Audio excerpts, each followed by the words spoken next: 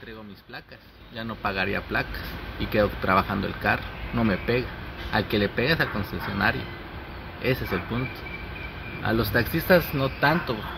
Bueno, lo- aquellos que tenemos carro nuevo como el Versa, no nos pegaría tanto porque nos podemos cambiar a la plataforma. Pero los compañeros, ahí sí te puedo aceptar, los compañeros que tienen Surus sí les va a afectar, porque creo que Uber no acepta Surus. En esa parte sí. Pues es una moneda al aire. A, a varios les va a afectar, a varios no. A los que les afecta más es a los concesionarios, a los, los dueños de las placas. Es, es una buena opción, porque es un empleo, un empleo donde ya no estoy pagando una renta. Ya lo que viene es para mí y Uber ya que al momento se cobra, o sea, tampoco voy a estar al pendiente de hacer un pago. Al contrario, estoy trabajando y ya sé que a la semana tengo mi dinero. ¿Qué tal la llegada de Uber? Pues bastante, porque bastante porque quita servicios, pues. Pero este, ahora sí de que todos están en su derecho, pues, de trabajar. O sea que este, como te dijera yo de que sí nos va a afectar, pero a través del que se ubique bien para la, pues también uno tiene que aplicarse. Ni tanto. Ya porque ya tenemos clientes y prácticamente dando el buen servicio, pues no puede afectar en nada. Es para toda una beneficencia. Eh, ¿Eso puede llevar a que te reduzcan la, cu- la cuenta o algo así? Podría ser que sí, porque están dando más, más, este, más económicos los servicios, pero pues prácticamente es una aplicación que es para mejorar también a los usuarios.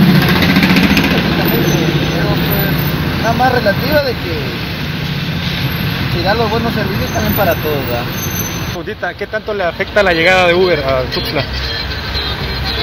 Pues no sabré decirte. ¿Cómo? ¿Por qué no sabría decirme?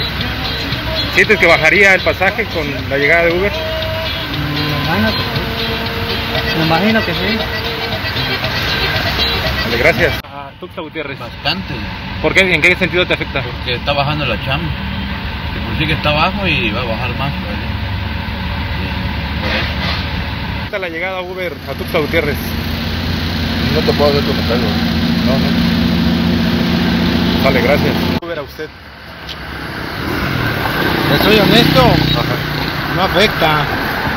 Va a haber más competitividad y van a tener que, en cierta forma, van a tener que bajar cuentas, van a tener porque es más barato Uber. Y realmente tienen, los dueños tienen que cambiar sus unidades.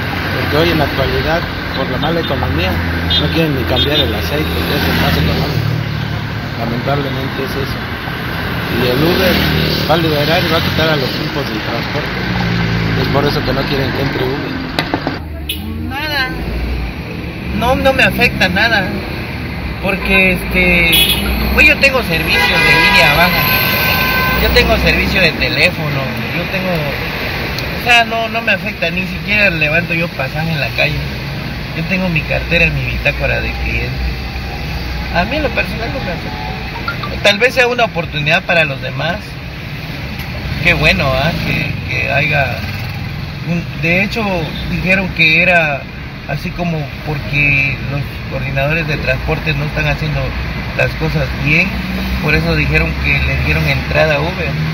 A mí me parece muy bien que venga, de hecho en todos los trabajos la competencia es buena, porque no vamos a ver que vamos a tener que dar un mejor servicio para los que andan robando, andan secuestrando, andan haciendo cosas con los carros. ¿verdad?